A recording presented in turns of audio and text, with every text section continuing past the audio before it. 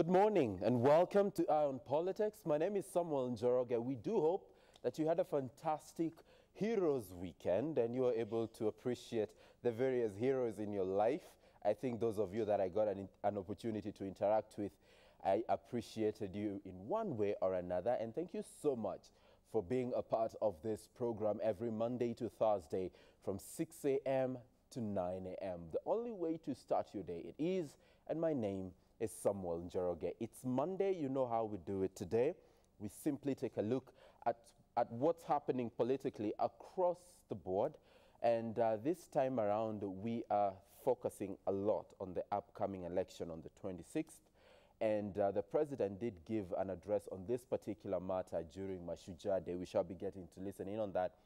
But I've got my panel right here.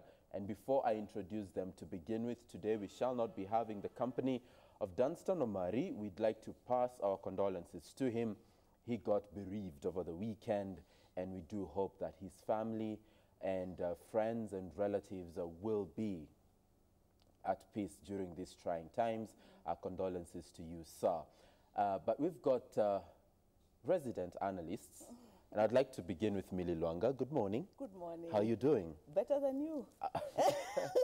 You always get me.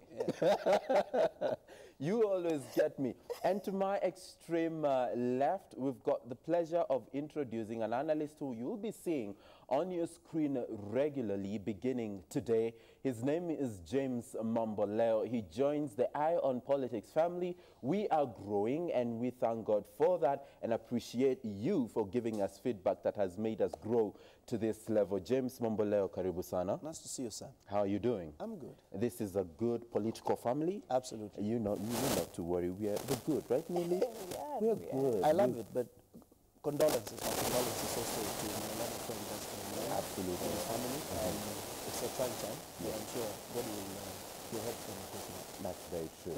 And we begin the discussion right now. 22162 is the SMS line, and the hashtag on Twitter is uh, Good Morning Kenya. Before, after you left, Milly, Akombe resigned. Yes. Chiloba went on a three-day leave, no, three weeks leave. I don't know what's your take on that particular issue as we build up the interview uh, father and father. Um, I think that, um, you know, as a person who is keen on issues of governance, I'm constantly concerned by how the institutions of governance that we have are presenting themselves over this period. And one of the things that has become quite apparent is that uh, there is a problem with IEBC. Uh, it is quite a big problem. And I say so because one of the reasons that Akombe gave for her leaving was that um, she said they, were, they seemed to have been infiltrated by the political class uh, and they were divided as the board that is supposed to guide policy.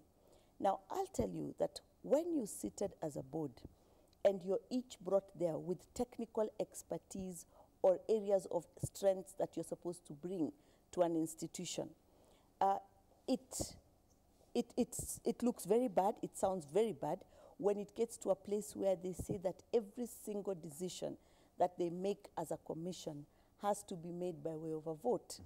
And the reason why I say this is because there are certain things that you cannot vote upon. There are certain things when you're managing an electoral process that are very technical, that are a matter of um, common sense, so to speak. So it would be um, it, it, it would be most unfortunate when you have to vote on on everything that you're doing because there are certain things that you need to agree upon. Now that is with Akombe's leaving. With uh, some of the, the issues that have come up after her leaving was also allegations that uh, Chiloba, who is the CEO, was interfering or altering some of the decisions. We have the so-called IEBC is now famous for leakages, the leaked memo or the leaked uh, information. always leak. You know, from Akombe and. Uh, saying that Chiloba overturned some of the decisions they had made and brought uh, brought it in, and they, they had a vote on it, and and these these are all aspects of concern. When you have a key process, the only process that they didn't get right, they got right on August 8th. They're getting people out to vote. they got right the, the kit working so that majority of Kenyans voted by uh, their, their thumbprint being recognized by the system. We did not have too many people having to resort to the manual uh, register. Uh, then the problem that they had was this opaqueness around the transmission of results. And yet again, her memo seems to suggest that there was some opaqueness around what they decided to settle on. So it becomes most unfortunate at this critical time that this entire uh, process that is supposed to be governed by this professional body, that they cannot come and tell us that it is professional. Then the last bit of it that was most um, disheartening was the chairman coming out and stating uh, categorically, and he is a lawyer, um, he knows, lawyers are very good with knowing how to use the right words to relay the, the correct information, saying that he cannot guarantee. So leaving the entire country guessing, um, and I, I think you, you recall at that point there was, is it, did he resign and not actually resign or was he stating that he's about to resign? I mean, stating that he does not believe that he can deliver a free and fair election with five days to go. So all that Uh-huh. culminates into an institution that uh, worries. Is there any problem with IEBC, Mamboleo? Um, there could be a problem with IEBC, but not necessarily the problem that NASA is depicting. Uh, first and foremost, the Commission ad nauseum has told us that it's ready to conduct an election, at least technically. Um, the IEBC has very clear mandate in the Constitution under uh, various articles, including Articles 138 through to 140, to conduct an election. And we are now conducting an election on 26th uh, under the auspices of Article 140 of the Constitution as ordered by the Supreme Court. Now, in my view, we need to become an honest nation.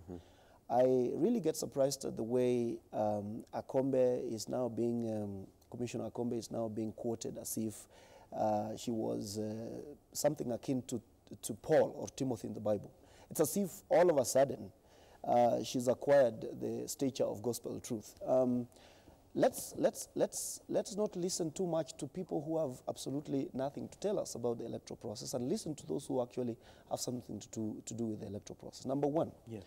you must recognize the fact that most of the technical work of the commission is actually undertaken by the secretariat as headed by the CEO. It is him who runs the day-to-day activities of the commission and to a very large extent uh, the remit of how an election is going to look like is of course going to take the face of uh, what the technical aspect of the commission has been doing, which, is the, which is the secretariat. So you can't place Chiloba or any CEO of any commission too far away from the election. And uh, secondly, um, the policy aspect of the commission is actually oversighted by or undertaken by the board of the commission, which is the commission as headed by the chairman together with the six commissioners. Yep. Um, there are many out there who criticize this electoral process and they say that you know we're not going to have a credible election. And uh, the reason we are not going to have a credible election is because the atmosphere is poisoned that Kenyans are not speaking in one voice. We don't have a meeting of the minds on this issue. And we are not going to ever have a meeting on the minds on minds of this issue because this is a political contest. You don't expect everybody to agree uh, on how this election is going to be held but there is something important which we have kept saying. Chebukati is not conducting an election because he wishes to or because it is his whim to conduct an election. Mm-hmm. Chebukati is conducting an election because this is the dictate or this is the dictate of the Constitution. The Supreme Court did not invent a repeat election. Mm-hmm. It is clearly stipulated under Article 140. So, do we have an option whether to conduct an election or not. We do not. And I would really understand if those who are opposed to this election were saying that, you know, technically speaking, this particular election cannot happen in accordance with the Constitution and the law. But they're not saying that. They're saying that, you know, we don't agree with the way this election is being organized, and mm-hmm. therefore we are going to make sure it doesn't happen. Now, that is the distinction they don't give us. They don't say that we are not going to stay at home and wait for those who want to do this election to go and do it. We are going to probably um, cause violence or rebel in such a manner as to make sure that elections are not held in certain places. So, for me, this is what is key. There's a difference between boycotting an election and creating riots so that other people who want to do the election don't do it. So there's a difference between boycotting an election and interfering Absolutely. with an election. Absolutely. I'd like to come to you, Milly. Uh, the law is clear, and the Supreme Court did it? say that uh, we need to have a repeat election Yes. within 60 days. Yes. What exactly would stop this election other than the same law that protects an election? I said it here some, I think now three weeks ago, no, two weeks ago, that um, right now, the situation that Kenya finds itself in cannot be solved by lawyers. And I say that I'm painfully saying so, being one, that saying you need to move lawyers out of this equation. Because when you say, like you do say, and it's often said in Kenya, that the law is clear, the law is crafted in such a manner, and that is the legal language. That's the legal language that people normally use, that it can accommodate as many scenarios as possible. That is just the way the law is crafted. That is the, when you do uh, legislative drafting, that is one of the things that you learn must be accommodated. Now, when you do that, then it allows the judiciary sitting and interpreting the law to take in the circumstances because circumstances differ. Uh, when somebody somebody uh, hits somebody, it could be assault, it could be self-defense, it could circumstances differ. Now, when I say this, and I come back to the election that we are talking about, there are different components, and I have said it even before. There's one component within the constitution that is very clear, says you have a president, and you have that president until he hands over to the next president.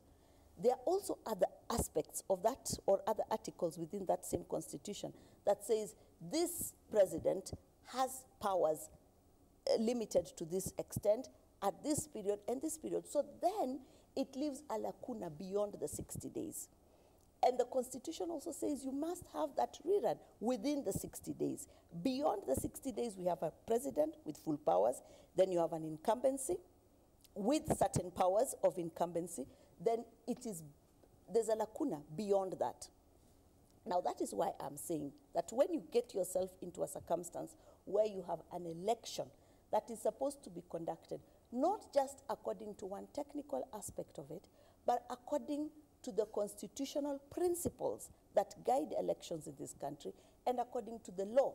The constitutional principles, and that is why elections, any person who has engaged with the electoral process will tell you that that is why Maraga said that election is a process because it starts with building confidence. It is a way that wananchi give power to certain people. So it starts with every single thing that is put in uh, that, that culminates into that final election day.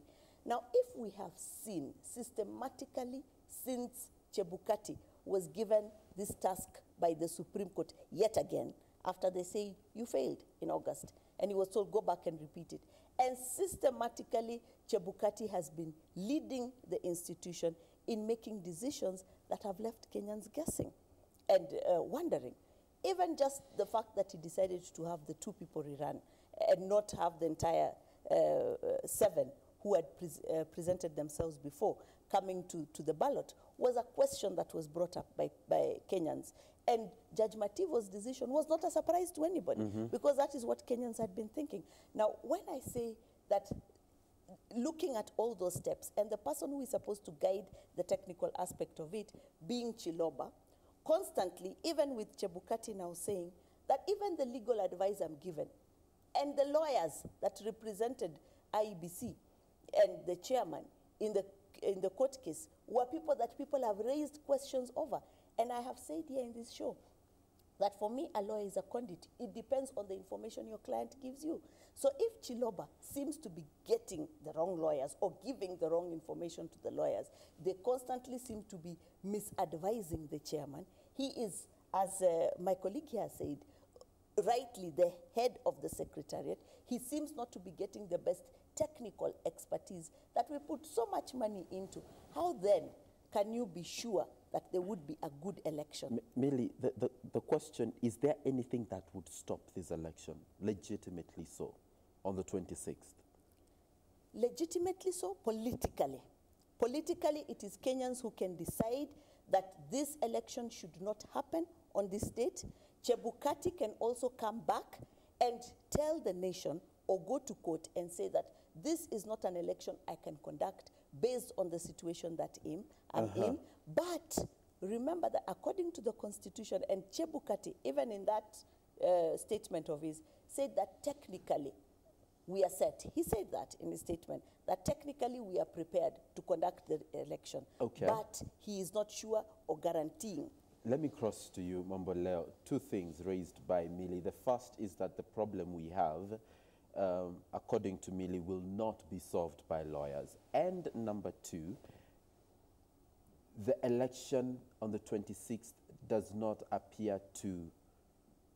I'm trying to choose my words very carefully. does not appear like it will kick off as expected. Do you agree with that? I don't. And um, I, I think, my brother Samuel, we have seen this happen many times. Those who support the postponing of this election are trying to go round and round in circles and give explanations upon explanations as to why it shouldn't happen. They, they want us to now start undertaking a discussion outside the Constitution. By the way, a Constitution is a social contract. Um, a social contract that Kenyans have made to govern themselves. Outside that social contract, we can only read anarchy. And this is what the Constitution says that after a, pres- a presidential election is annulled, then a repeat, fresh presidential election shall be held within 60 days. And we are on the, on the verge of, um, we, we actually almost getting to the outermost um, side of that 60 day window. So this is what NASA people will not tell you, especially tho- or, or those who support NASA. This is what they don't tell you. They don't tell you that when you have a situation like ours, if you do not, if you do not conduct an election on 26th, then you are going to slide into a realm in which the Constitution no longer tells you what to do. That is what, in common parlance, you've heard them talk or, or say or call um, uh, a constitutional crisis. Right now, as my friend Milly says, we are in a political crisis. Now, add that to a constitutional crisis in which nobody no longer directs you on really what you must do. That is definitely going to be anarchy. Do you know what a constitutional crisis will herald? It will bring administrative paralysis, it will pro- probably most likely lead to a situation in which government is no longer able to move forward, which means almost collapse of government. You are headed to nothing else other than civil war. Now, you have a situation in which you are being told several times that you know we have a president.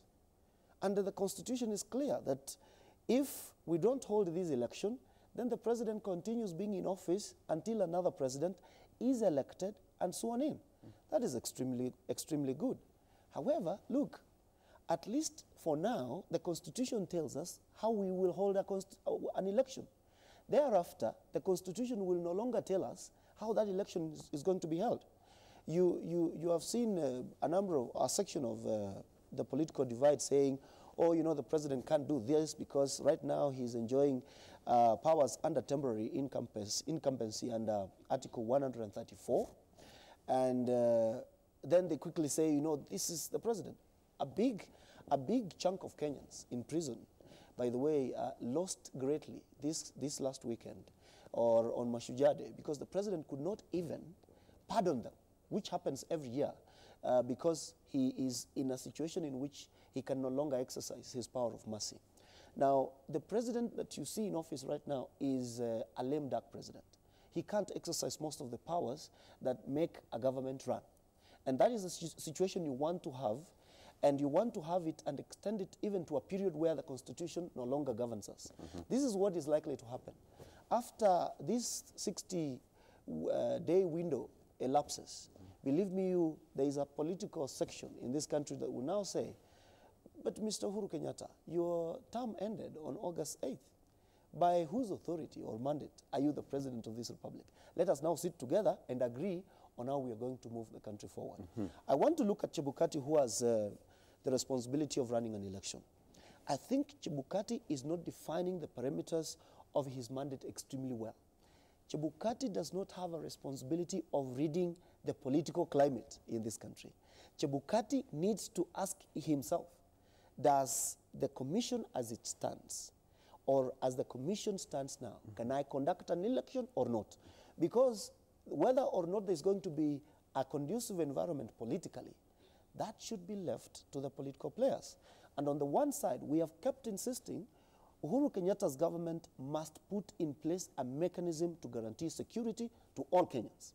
At the same time, the responsible opposition that it should be should make sure that it does not engage in activities which will deny those, those Kenyans who want to vote their right to vote. They should not violently or in any other way uh, which is inconsistent with the constitution and the law try to stop those who want to go to the elections to go to the elections. You, you raise a very valid point, Milly, and uh, I mean, Mamboleo, and crossing to you, Milly, I'd like us to really assess whether we are ready for the 1st of November as a nation. Should we not have this election on the 26th? Are, are we ready for the consequences of that? Very good question, Sam. We are not. And this is what I have been saying. Uh, you see, Mamboleo speaks as, I believe, Jubilee, because he says NASA lawyers. I speak as a Kenyan. Uh-huh. Uh, and this is what I tell you that when you look at Jubilee lawyers, they will talk to you and read the constitution and read the legal situation to suit the circumstances that fit them. When you listen to NASA lawyers, they will also convince you. That is what a good lawyer does. Now, when you sit and think about the circumstance we are in as Kenyans, you are telling us the Constitution says that you're supposed to go into an electoral process that is free and fair, that people participate. It is a situation where Kenyans are choosing the people who are going to give them these powers. Are we in that situation? I don't think that any single person, and that is why more and more Kenyans are coming out to call for peace, to call for prayers, to call for dialogues. There's so many activities going on around the country where everybody is trying to do their two bits because at the end of the day, history will be written. And you want your name to be on the right side of history for whatever reason uh, it will happen. And that is why we saw even women decide to go and uh, uh, print in the papers and put two days of prayers and activities trying to, to, to say their little bit that they can say. So we are not in a political situation that is right. We are going to get into that situation when it's going to be worse. Now, if we go into an election on 26th and we have that process and we have the same calls that are still going on, with a good part of the country having boycotted, so to speak, or not participated in that process, are you going to say then that that electoral process is going to have brought out leader, leadership that guides the entire country? That is a good question that we have to ask. Come 26th, are we going to reach a situation where you have brought the two key political sides um, uh, together in a manner that they would be willing to discuss and think about the greater good of this nation? Or are you going to be putting them in a circumstance where they are still thinking about the power that I have, the power that I want, the power that you have, the power that you should not have? Is that the situation where we'll be? If we are going to be in that situation, and that is where we will be, come the first, then there's definitely no hope for this country because we are in a situation where the lawyers are not guiding the process, they're reading the law, which is perfectly in order. That is what they are trained to do. They are reading the law to support their agendas. But the truth is that this country has reached, even the National Cohesion and Co- uh, Integration Commission came out with a statement the other day and said, where we are as a nation is not right. And for those people who want to be blind to that fact and not say that this is a point where we need to sit as a nation and talk about where we want to be, can we say, can this election happen in two months? With Chiloba having uh, gone out in, uh, in three weeks, can we say we, we can have a process that will be fair in two months? I'm just giving an example. Yeah. Is this then the situation? Is this then the point when this country should come together and talk about this and save it? Or continue as we are and see what happens? Kindly help me and probably other Kenyans draw meaning from the words of Raila Odinga that he will not boycott the election, but the election will not happen. And in that regard, expect an announcement on the 25th. Uh, deconstruct that for me, uh, most often like a two year old, like make basics kabisa. what does that even mean? Um, that is the question, my brother Samuel, that um, Raila Odinga and NASA supporters, including NASA lawyers, and Milly, I, I believe, is one, because anybody who, uh, anyone who supports any proposition that we should not hold an election is actually supporting NASA. They should not tell you that they're impartial. Um, this is the question that NASA lawyers and Raila Odinga have failed to answer. We have asked them the question severally. What does it mean when you say that there is not going to be an election on 26th?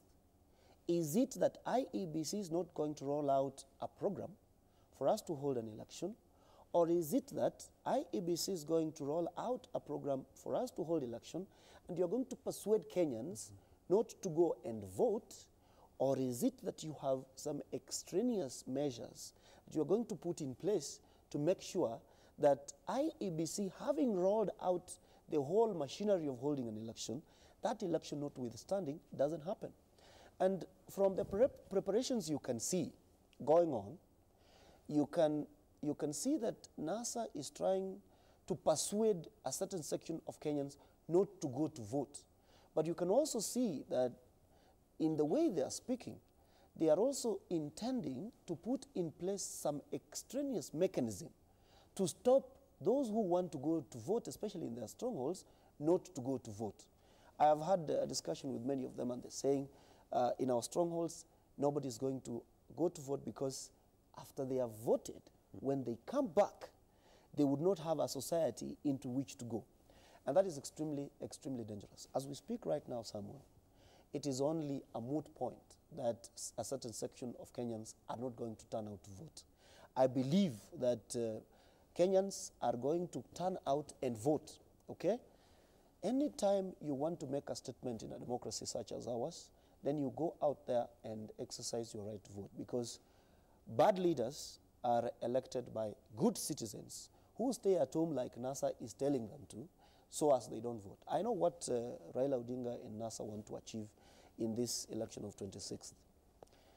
They want to, they want to choreograph a situation in which someone, someone looking at it from the outside begins to look at this election as having denied Uhuru Kenyatta and the rest of the candidates that legitimacy it requires you know, on the guys that we, all Kenyans did not come out to vote, you know, that some people boycotted the election. And um, the way our system of government works is, you know, if you want to vote, you go and vote. Even when we are in peaceful, orderly environment, just like we were on 8th of August, there are people who chose not to go to vote. So those who want to exercise that right not to vote this time around yet again, let them do it. But let them do it while recognizing a fundamental freedom and a basic right guaranteed by the Constitution to those who might choose to go and vote. However, when you choose not to vote, then you stop yourself from participating in a process in which your voice should have been heard. And then you want to come out here and start engaging us in a discussion that is extra constitutional. I have said several times, Sam, we need to hold a dialogue as this nation because we have many challenges facing us. And every nation needs to always discuss with itself. I believe strongly that Uhuru is a well meaning man and he should always call upon his brother, elder brother Raila, to have a discussion on how, amongst many other players, to hold a discussion on how to move the country forward. Mm-hmm. However, this dialogue must be held within the four corners of the Constitution. Anytime you want to hold a dialogue outside that Constitution, then it means you want to rewrite the social contract. And the Constitution itself has very clear mechanisms on how it can be rewritten. So the most cardinal point here today is this, okay? Let NASA stop misleading Kenyans. It is not that if they don't want to hold an election, that election cannot be held. That election will be held. And NASA still has the ability to walk to the Supreme Court and file a petition if he thinks that, that, that, that election is not held in accordance with the Constitution and the law. The very last thing on Chebukati as chairman is this. Chebukati as chairman knows very well where to find the Supreme Court. If today, for instance, he felt so passionately that, you know, we are in a situation in which we can hold, a, an election, why should he come out crying to us Kenyans? We have nothing we can do about it. It is him on whom the responsibility to conduct an election is, is, is, is vested. Why can't he then move to the Supreme Court and ask the Supreme Court to make this extension? I believe the reason he's not doing so is because he knows the Supreme Court is going to ask him, but why can't you hold an election? Mm-hmm. And he's not going to tell them that, you know, I can't hold an election because NASA says that we can't hold an election. Okay, Milly has been, uh, you know, uh, wanting to respond to that, Wanting to clarify to clarify issues. something. And I think that it is important. Um, I have many different hats that I wear. And I think that, uh, for example, Omari and yourself know that. Mamboleo perhaps does not. I do not want to be classified or bracketed in any place because there are certain things that I do in my life and I sit w- uh, in a position where I judge different things and I would not want to have been labeled either NASA or Jubilee. So I take great exception to that. I speak as a person who is looking at things from a governance perspective. And where there is wrong, there is wrong. I have said it in this show even before that if it is wrong, if three, four, five wrongs are placed upon one side, you say it. It doesn't matter whether those wrongs belong to NASA or they belong to Jubilee. If they are wrong at that particular side, you say it. And that is the value that I think I would bring to this show. If uh, my value would be to come and speak for one side of the political divide, then perhaps it is the wrong show uh, based on what Mamboleo is saying. Now, having said that, because I was answering to what uh, the situation is as it presents itself, I would like to clarify one thing. And the thing that I would like to clarify is this that when you're going into a constitutional, into an electoral process, what the Constitution requires is that every Kenyan must be given that opportunity and must be educated on the importance of voting. Yes, it is your option to choose not to exercise that right or not, but you must be given that education. And that is why, even before electoral processes, we lay a lot of emphasis on civic education. That is why, before August 8th, we asked why is IEBC not doing enough civic education? Why are they not going out there to get people to come out and vote? Why are they leaving this out of the bracket? And that was a serious conversation that we had as a nation before the August 8th election.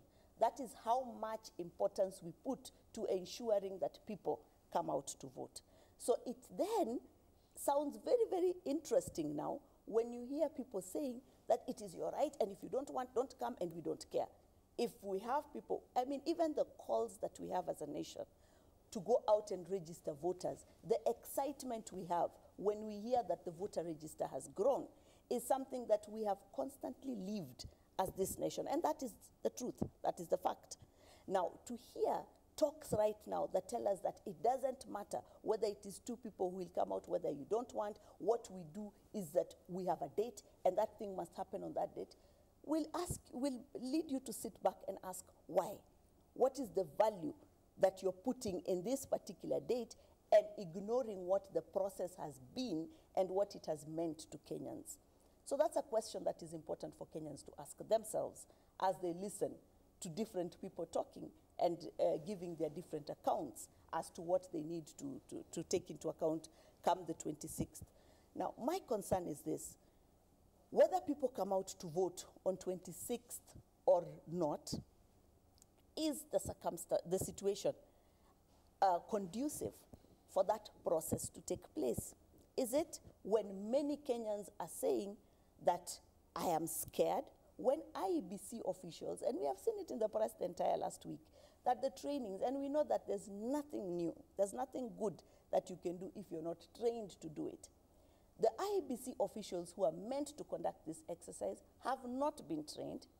It is an issue that was brought up to say that now to quote information that is coming from any IEBC official that amounts to citing it as a gospel, um, which is quite offensive, I think, to Christians, uh, as a gospel stated by, by one of the commissioners, is, I think, in bad taste. Because when the person you have given the mandate and the powers and the person who has got the technical or is supposed to have the technical expertise to do this raises a question of concern, including the IEBC officers on the ground saying that we cannot be trained. We know, I know for a fact, I was involved in the process, that the IEBC amended some of their manuals, their training manuals, because they were incorporating some of the concerns that the Supreme Court has raised.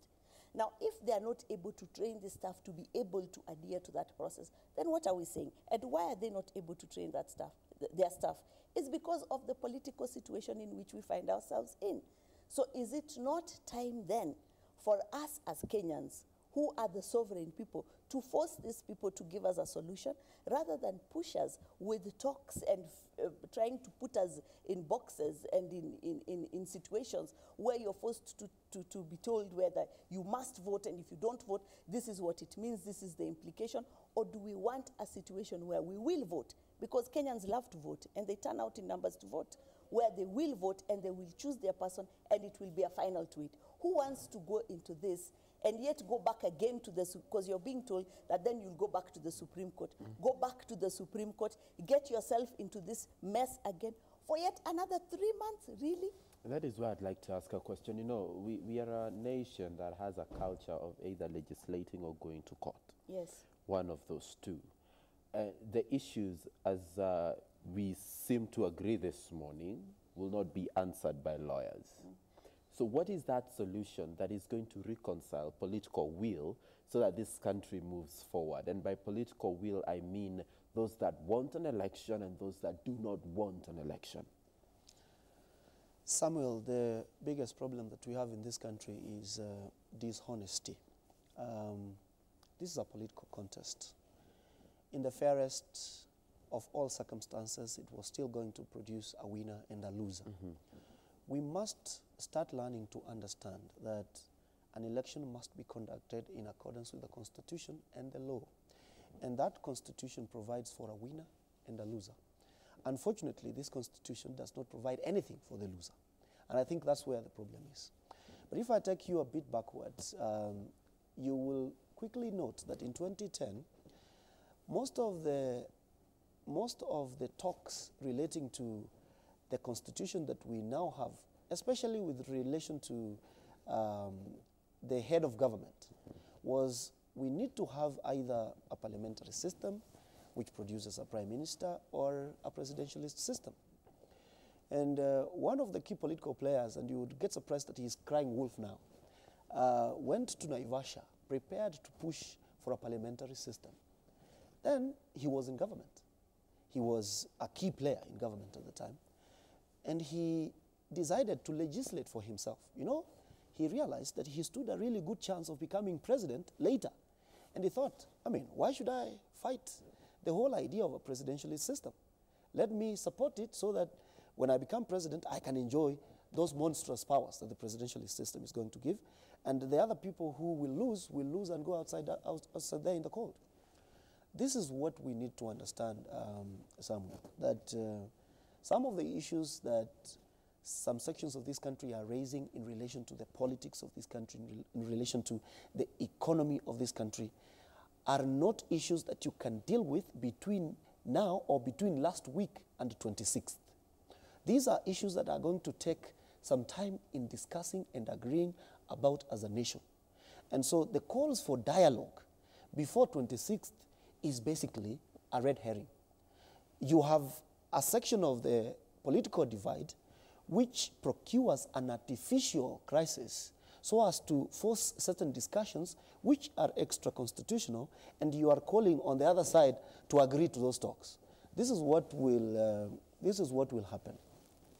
Um, you are now in a, a sticky situation, or we are in a sticky situation as a nation. Why? Because, as uh, my good friend Milly says, you know, we cannot even train IEBC officials in some places. But look at the reason why we cannot train those IEBC officials. Is it because the IEBC is unable to train them? It is because someone, together with his system, has deliberately chosen to create a hostile environment in those situations or in those places so that IEBC officials cannot be trained. What they are doing is actually illegal, all right? So we cannot resort to illegal um, means to stop legal processes and then claim that, you know, we are in a crisis. I think I read the president as meaning extremely well for this country. He's saying, look, we have done many things before which a lot of us probably do not like. We are uh, not perfect, but we are much better off placing ourselves ourselves in the process of the constitution and the law rather than going outside it because once you agree to go outside that constitution even for once then you are in a place in which nobody gives you any regulation on how to move forward. Let us be clear on one important aspect okay? Once 26th comes and goes and there is no election in this country once that 60 day window lapses and there is no, no, no election that has been held in Kenya, then the constitution does not tell you what will happen. There are those who even argue that, you know, the Supreme Court can extend the 60 day period. The Supreme Court does not exist out there in space. The it, it, it exists inside the Constitution. Mm. It might as well say, well, you Kenyans have done what you needed to do. We do not know how to help you because we told you, hold the election in accordance with the Constitution, you have failed to do so. Why would you run to us?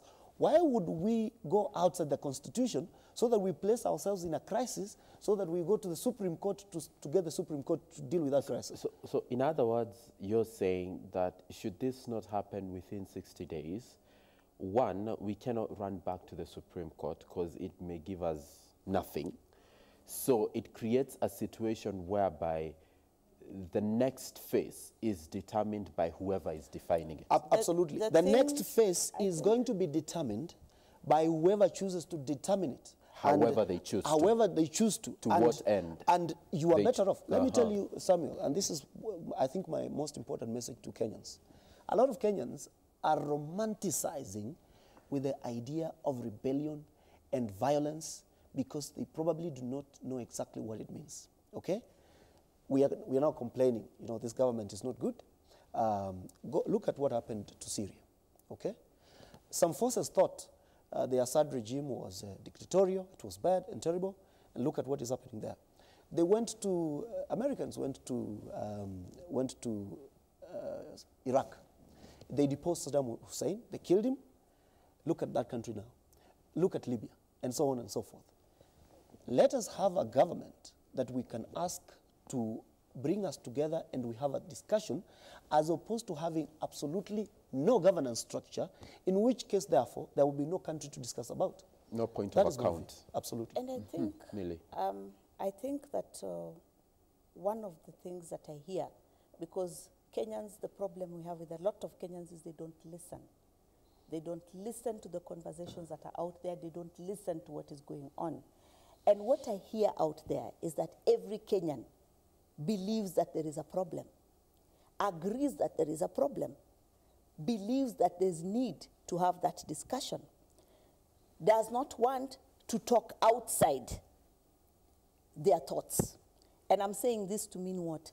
For example, when you listen to Jubilee, they believe that should they still have some form of power, uh, however you describe it or however it is obtained, come the 26th, then there will be possibility of talk. You listen to NASA, and it is that outside this particular scenario, let us find a position where we can sit and talk. Now, as Mamboleo has rightly said, the judiciary, going back to the judiciary, the judiciary's work is to interpret the laws and the constitution. Mm-hmm. And the constitution has already given a timeline.